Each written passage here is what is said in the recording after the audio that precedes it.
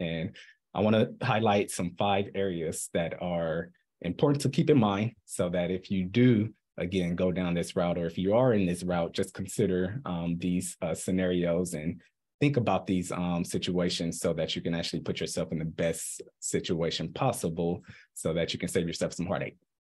So um, the first thing that I want to talk about in terms of your consideration is you want to understand the difference between multifamily and other types of asset classes. So I alluded to it a little earlier, but when it comes to multifamily, your multifamily is essentially just going to be any property that is multi-family or more than one unit. So think of two or more families that are occupying that investment. And to make it simple, think of townhouses, duplexes, apartment buildings anything in that area is considered multifamily. And a multifamily can be as little as two units or two apartments, or it can be as high as 50 plus. So depending on the range, it's a very wide range, but ultimately it's going to be considered an investment that has more than one family living in the space.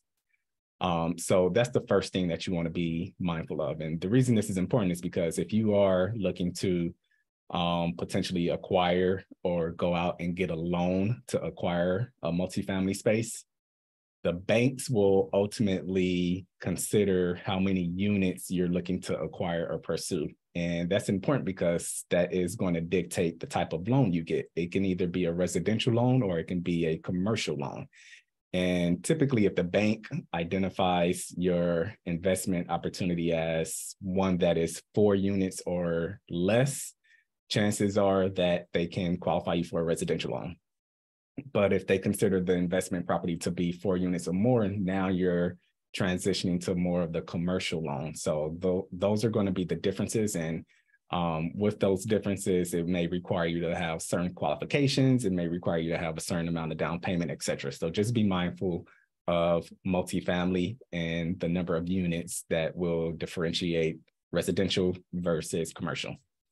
Um, so that's the first one. The second item that should be worth consideration is that multifamily spaces have a huge outlay of cash that is required for you to actually acquire from the so the initial contribution and investment is huge compared to a non-multifamily investment, which would be residential or single family ultimately.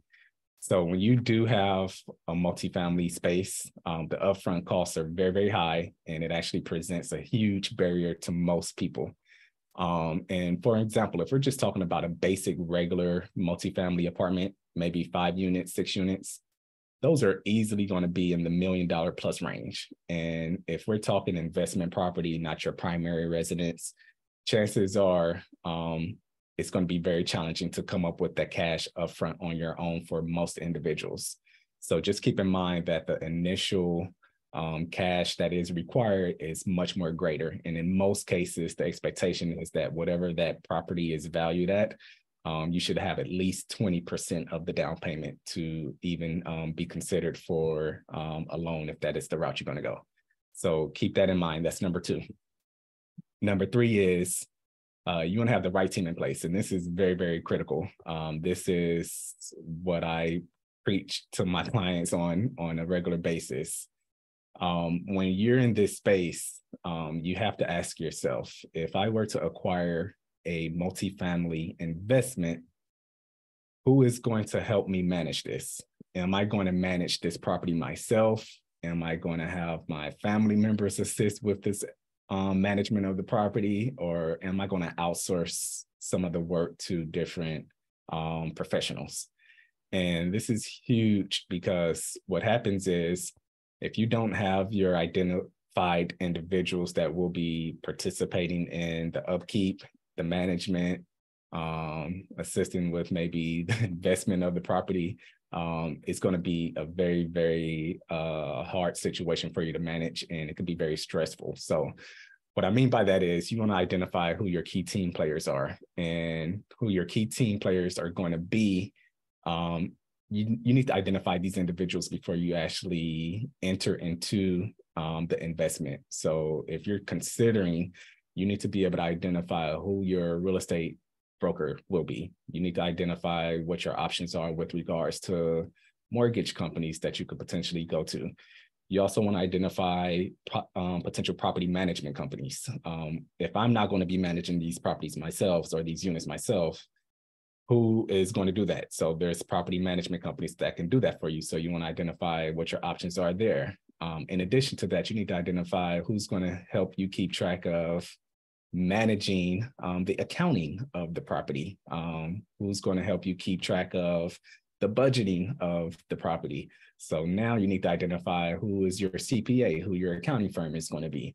And then in addition to that, um, realistically identify what are you going to be doing. If you're going to be hands off, then you absolutely need to identify who these key pe people will be so that when the time comes and you actually acquire the property and secure the property and you now have tenants in place, you're outsourcing um, the work that's required to keep the, the property um, ongoing.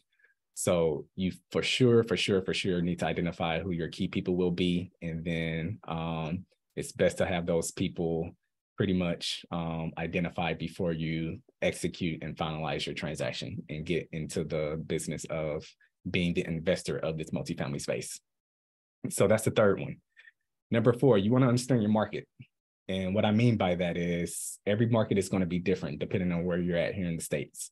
So I'm in LA. The LA market is a lot different than what it is in Texas. And Texas is a lot different than what it is in New York.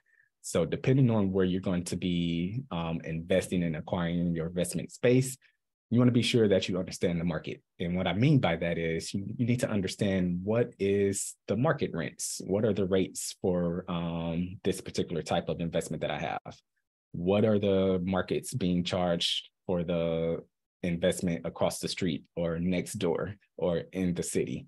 Um, you need to understand um, those basic things so that you can ultimately have an idea of what you're in a position to charge and what you're able to do with your investment more importantly, you need to be able to understand these numbers so that you can put together your budget and understand what your cash flow will look like, what your net operating income will look like on that investment.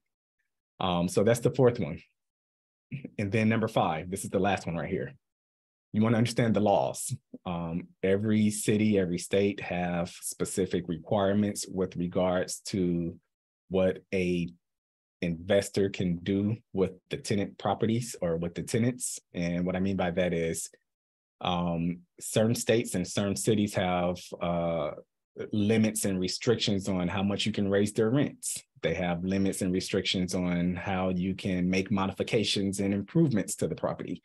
So you need to understand what these requirements and laws are um, before you actually proceed with um, making changes to an existing agreement or um, making changes to the existing structure of a building.